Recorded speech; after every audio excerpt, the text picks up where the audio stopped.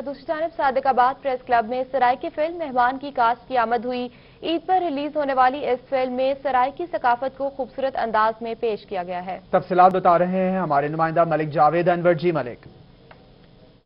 Press club में आज जो है यहाँ पर सराकी फनकार जो है, इन्होंने एक फ़िल्म रिलीज़ की है, मेहमान, जिसका जो है ईद के दूसरे दिन रिलीज़ होने जा रही है। इस वक्त जो है कुछ फनकार हमारे साथ मौजूद हैं। मजीद जान, बताइएगा आपको ये मेहमान फ़िल्म जो है वो ईद के दूसरे दिन रिलीज़ होने जा रही है। इस हवाले से आप क्या कहना चाहेंगे? सारे तो पहले तो शुक्रिया अदा करेंगे रोही टी वी का कि जिन्हें मुहब्बत आज सादकाबाद प्रेस क्लब के ਸਾਰੇ ਫਨਕਾਰਾਂ ਦੇ ਆਜ਼ਾਦ ਦੇ ਵਿੱਚ ਪਾਰਟੀ ਰੱਖੀ ਗਈ ਹੈ ਮੈਂ ਦੱਸੇ ਨਾ ਵਜਾਂ ਕਿ ਇੱਕ ਵਾਰੀ ਸਾਡੀ ਫਿਲਮ ਖੋਟੇ ਸਿੱਕੇ, ਚਰਸੀ ਢੋਲਾ ਆਈ, ਉਹ ਤੋਂ ਬਾਅਦ ਸਾਡੀ ਉਹ ਫਿਲਮ, ਉਹ ਫਿਲਮਾਂ ਤੋਂ ਬਾਅਦ ਮੈਂ ਸਮਝਦਾ ਕਿ ਸਭ ਤੋਂ ਵੱਡੀ ਫਿਲਮ ਸਾਡੀ ਇਹ ਸਾਬਿਤ ਹੀ ਸੀ, ਜਿਹੜੀ ਹੀ ਵੱਡੀ ਈਦ ਦੇ ਦੂਜੇ ਦੀ ਰਿਲੀਜ਼ ਥੀਨੀ ਪਈ ਹੈ YouTube ਟੀਪੀ ਕਮੇਡੀ ਚੈਨਲ ਦੇ ਉੱਤੇ ਮਹਿਮਾਨ, ਕਿ ਮਹਿਮਾਨ ਦੀ ਪਹਿਲੇ ਕਦਰ ਕਿਆ ਹੁੰਦੀ ਹੈ ਮਹਿਮਾਨ ਕੋ ਅੱਜ ਆਪਾਂ ਕਿਵੇਂ ਟਰਖੇ ਨੂੰ मैं अपनी ज़बान इवें सम्झंदुसि भई हूँ वाले मेहमान न प्यार थींदा, ते हुअण जहिड़ा महिमान घर वाले आप बाहर भाॼी वेंदा तो सारी फ़िल्म आंदी पी मेहमान ज़रूर देख सो रोहित वसत नाम सारी आवाम को ॾिसे एक यादगार फ़िल्म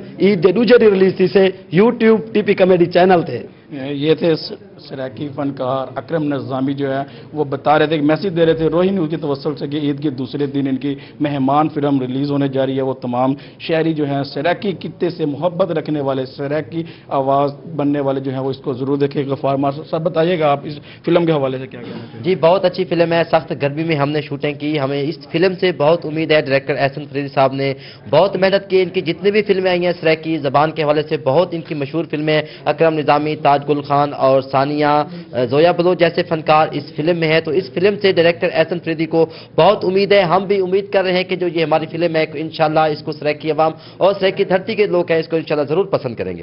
तो बिल्कुल सराकी धरती की सकाफत पेश की जाएगी। बहुत शुक्रिया। मालिक जावेद अनवर आप हमें तफसीत बता रहे थे। इसी के साथ न्यूज़ स्टूडियो से फिल वक्त इतना है।